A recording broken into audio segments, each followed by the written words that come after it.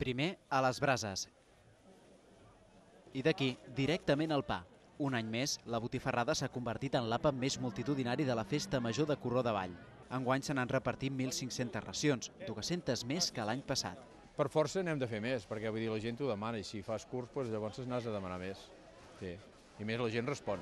Com no podia ser d'una altra manera, totes les botifarres provenen d'un comerç de les franqueses. L'aprovació és unànima.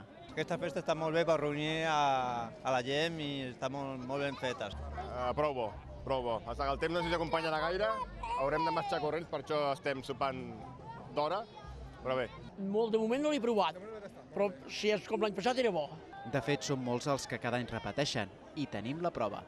Cada any, cada any venim. Som de Corró damunt, però sempre venim aquí a les franqueses, que ens agrada molt. Oh, molt bé, som de Corró damunt i cada any, com és el mateix municipi, que baixem cada any aquí a fer el botifarrada. Llàstima que aquest any no serveixen vi.